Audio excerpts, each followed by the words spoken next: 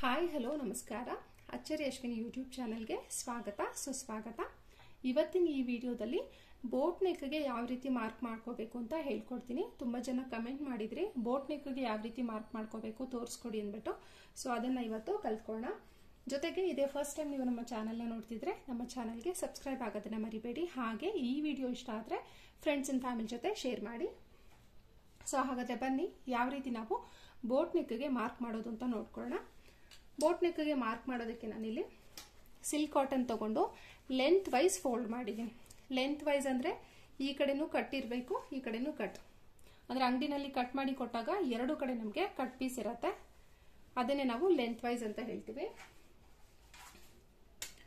ಇದರಲ್ಲಿ ಬರೀ back neck marking ಮಾತ್ರ ತೋರಿಸ್ತೀನಿ. ಪಾರ್ಟ್ ಟೂ ನಲ್ಲಿ ನಿಮಗೆ ಫ್ರಂಟ್ ನೆಕ್ ಕೂಡ ಇರುತ್ತೆ. ಸೊ ವಿಡಿಯೋನ ಪೂರ್ತಿ ನೋಡಿ ನೆಕ್ಸ್ಟ್ ಪಾರ್ಟ್ ಕೂಡ ಮಿಸ್ ಮಾಡಬೇಡಿ. ಫಸ್ಟ್ ನಾವು ಬ್ಲೌಸ್ ಲೆಂತ್ನ ಮಾರ್ಕ್ ಮಾಡೋಕ್ಕೂ ಮುಂಚೆ ಬಾಟಮಲ್ಲಿ ಒಂದರಿಂದ ಒಂದೂವರೆ ಇಂಚಷ್ಟು ಬಿಡಬೇಕು. ಇನ್ ಕೇಸ್ ಬಾರ್ಡರ್ ಇತ್ತು ಅಂದರೆ ಆ ಬಾರ್ಡರ್ನು ಸೇರಿಸಿ ಸ್ಟಿಚ್ ಮಾಡೋದಂದ್ರೆ ಅರ್ಧ ಇಂಚ್ ಸಾಕಾಗುತ್ತೆ. ಬಾರ್ಡರ್ ಇಲ್ಲ ಪ್ಲೇನ್ ಆಗಿದೆ ಅಂದರೆ ಈ ರೀತಿ ಒಂದರಿಂದ ಒಂದೂವರೆ ಇಂಚ್ ಬಿಡಿ. ಯಾಕೆ ಅಂದರೆ ಅರ್ಧ ಇಂಚ್ ಹೇಗಾದರೂ ಇದು ಅನ್ನಿವನ್ ಆಗಿದೆ ಇರುತ್ತೆ ಕಟ್ ಮಾಡೋಕೆ ಹೋಗುತ್ತೆ. ಇನ್ನು ಒನ್ ಇಂಚು ನೀವು ಫೋಲ್ಡ್ ಮಾಡಿ ಸ್ಟಿಚ್ ಮಾಡೋಕ್ಕೆ ಬೇಕು. ಇದಾದ್ಮೇಲೆ ಇಲ್ಲಿಂದ ನಿಮ್ಮ ಬ್ಲೌಸ್ ಲೆಂತ್ ಏನಿದೆ, ಅದನ್ನು ಮಾರ್ಕ್ ಮಾಡಬೇಕು. ಯಾವಾಗಲೂ ಏನು ಮಾಡಿ, ನೀವು ಬ್ಲೌಸ್ ಮಾರ್ಕ್ ಮಾಡೋಕ್ಕೂ ಮುಂಚೆ ನಿಮ್ಮ ಹತ್ರ ಏನು ಮೆಷರ್ಮೆಂಟ್ಸ್ ಬೇಕಾಗುತ್ತೋ ಅದನ್ನು ಮೊದಲೇ ಬರೆದು ಇಟ್ಕೊಂಬಿಡಿ. ಬರೆದು ಇಟ್ಕೊಂಡ್ರೆ ಈಸಿಯಾಗಿ ನೀವು ಮಾರ್ಕಿಂಗ್ನ ಮಾಡಬಹುದು. ಈಗ ಫೋರ್ಟೀನ್ ಇಂಚಸ್ಸಿಂದ ಸಾರಿ ನನ್ನ ಬ್ಲೌಸ್ ಲೆಂತ್ ಬಂದು ಹದಿನಾಲ್ಕು ಇಂಚ್ ಇದೆ. ಓಕೆನಾ ಈಗ ನಾನು ಈ ಮಾರ್ಕ್ ಮಾಡಿರೋ ಲೈನಿಂದ ಹದಿನಾಲ್ಕು ಇಂಚ್ನ ಮಾರ್ಕ್ ಮಾಡ್ತಾ ಇದ್ದೀನಿ.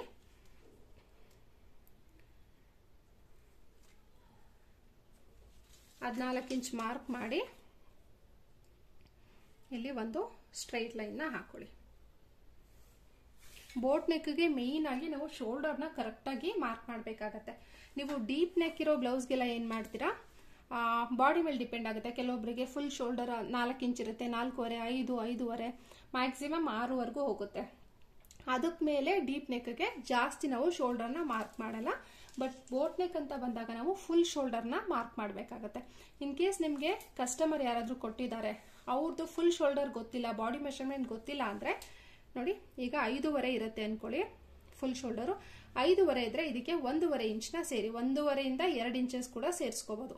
ಸೊ ನಾನೀಗ ಇದಕ್ಕೆ ಒಂದೂವರೆ ಇಂಚ್ ಆ್ಯಡ್ ಮಾಡಿದ್ರೆ ಏಳು ಇಂಚ್ ಬರುತ್ತೆ ಓಕೆನಾ ಈ ಏಳು ಇಂಚ್ನೇ ನಾವು ಫುಲ್ ಶೋಲ್ಡರ್ ಅಂತ ಹೇಳ್ತೀವಿ. ನೋಡಿ, ಐದೂವರೆ ಬಂದು ನೀವು ಬ್ಲೌಸ್ ಮೆಜರ್ ಮೆಷರ್ಮೆಂಟ್ ತಗೋಬೇಕಾದ್ರೆ ಇರುತ್ತೆ. ಅದಕ್ಕೆ ಒಂದೂವರೆ ಇಂಚ್ ಆ್ಯಡ್ ಮಾಡ್ಕೊಳ್ಳಿ. ಒಂದೂವರೆ ಇಂಚ್ ಆದರೆ ಏಳು ಇಂಚ್ ಆಗುತ್ತೆ. ಇದನ್ನೇ ನಾವು ಫುಲ್ ಶೋಲ್ಡರ್ ಅಂತ ಹೇಳ್ತೀವಿ. ಇನ್ ಕೇಸ್ ಬಾಡಿ ಮೆಷರ್ಮೆಂಟ್ ತಗೊಂಡ್ರೆ ಅದನ್ನು ಡಿವೈಡ್ ಮಾಡಿಕೊಂಡು ಮಾರ್ಕ್ ಮಾಡ್ಬೋದು. ಇಲ್ಲಿ ನನ್ನ ಶೋಲ್ಡರ್ ಬಂದು ಹದಿನೈದು ಇಂಚ್ ಇದೆ.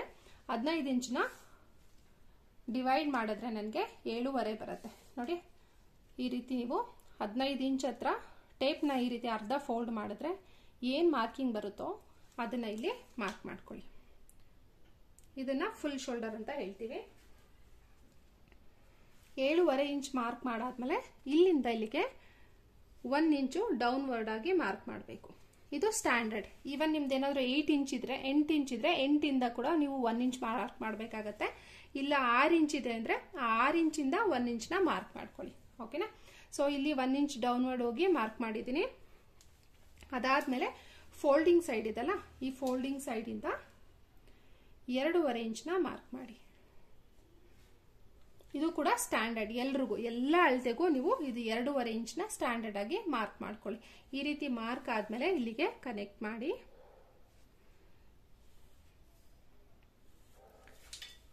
ಈ ರೀತಿ ಸ್ಲ್ಯಾಂಟ್ ಆಗಿ ಕನೆಕ್ಟ್ ಮಾಡಿದ ನಂತರ ಏನ್ ಮಾಡಬೇಕು ನಾವು? ಶೋಲ್ಡರ್ ಎಷ್ಟು ಬೇಕು ಅಂತ ಡಿಸೈಡ್ ಮಾಡ್ಕೋಬೇಕು.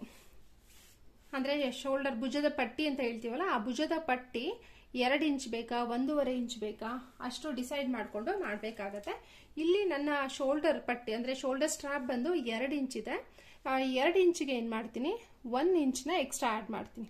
ಯಾಕೆ ಅಂದರೆ, ಈ ಕಡೆ ಅರ್ಧ ಇಂಚು ಸ್ಟಿಚಿಂಗ್ ಹೋಗುತ್ತೆ ಸ್ಲೀವ್ ಜಾಯ್ನಿಂಗಿಗೆ ಹೋಗುತ್ತೆ. ಅದೇ ಥರ ನೆಕ್ ಹತ್ರ ಸ್ಟಿಚ್ ಮಾಡ್ತೀವಲ್ವ, ಅದಕ್ಕೂ ಅರ್ಧ ಇಂಚ್ ಹೋಗುತ್ತೆ.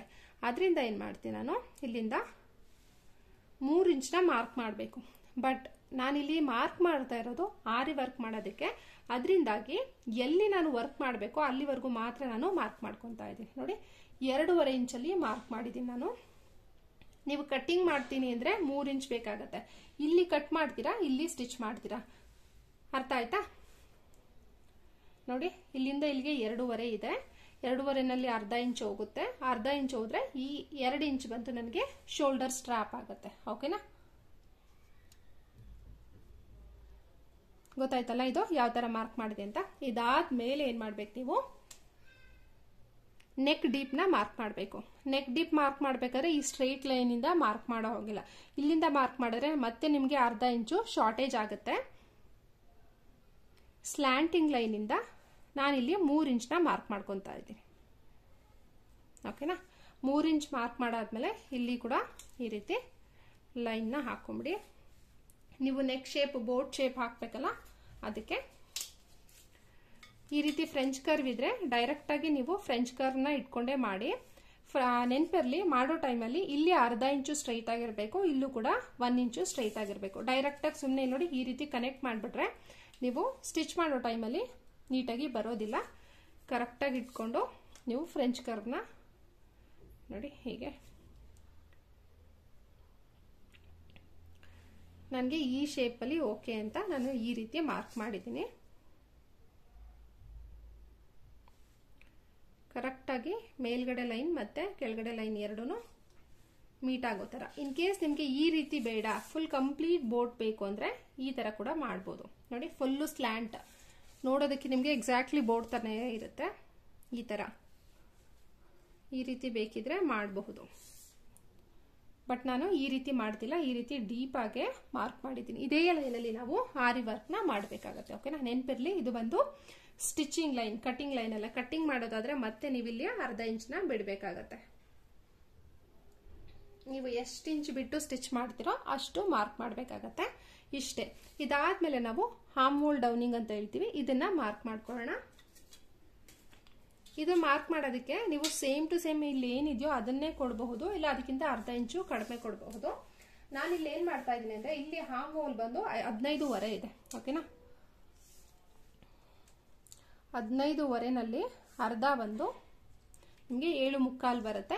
ಏಳು ಮುಕ್ಕಾಲಲ್ಲಿ ಕಾಲು ಇಂಚ್ ಬಿಟ್ಟು ನಾನು ಏಳುವರೆನೇ ಮಾರ್ಕ್ ಮಾಡ್ತಾ ಇದ್ದೀನಿ. ಕ್ಲೋಸ್ ನೆಕ್ಕು ಮತ್ತು ಬೋಟ್ ನೆಕ್ ಅಂದಾಗ ನಾವು ಪೂರ್ತಿ ಹಾಕಬೇಕಾಗತ್ತೆ. ಇಲ್ಲ ಅಂದರೆ ಏನಾಗುತ್ತೆ? ಈ ಶೋಲ್ಡರ್ ಹತ್ರ ಫುಲ್ಲು ಟೈಟ್ ಆಗುತ್ತೆ. ನಾವು ಕೈನ ಮೂವ್ಮೆಂಟ್ ಮಾಡೋದಕ್ಕಾಗಲ್ಲ. ಇಲ್ಲಿ ಏನು ಕೊಟ್ಟಿದ್ದೀನೋ ಅದನ್ನೇ ಕೊಟ್ಟಿದ್ದೀನಿ. ಏಳುವರೆ ಇಂಚ್ ಮಾರ್ಕ್ ಮಾಡಿದ್ದೀನಿ. ನೆಕ್ಸ್ಟ್ ಇದನ್ನ ಯಾವ ಥರ ಕನೆಕ್ಟ್ ಮಾಡೋದು ಅಂತ ನಾವು ನೆಕ್ಸ್ಟ್ ವಿಡಿಯೋದಲ್ಲಿ ನೋಡ್ಕೊಳ್ಳೋಣ ಓಕೆನಾ ಸೊ ಪಾರ್ಟ್ನ ಮಿಸ್ ಮಾಡ್ದಂಗೆ ನೋಡಿ. Thank you and bye bye